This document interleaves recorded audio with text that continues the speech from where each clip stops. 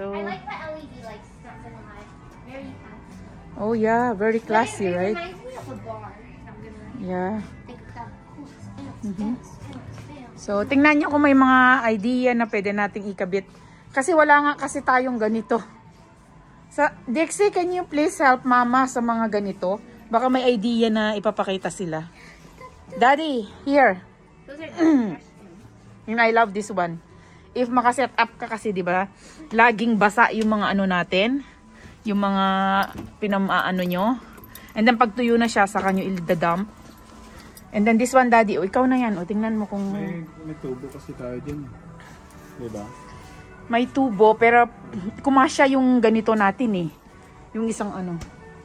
Nagkasya naman siya. So ganyan yung style. Mhm. Ganyan yung style nito. Yeah, bedroom. Open mo nga anak ko. Mommy, do you know in Japan? Mhm. Oh, ito yung mga pangbaunan, no?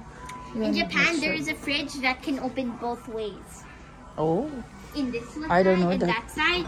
For the So, people who are like right-handed, left-handed, you know. they have also like this lang yung laki niya, Bi, oh. Kuha ka nga.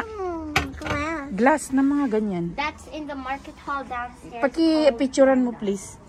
Kaya wala kulang ako ng ganyan. So, eto.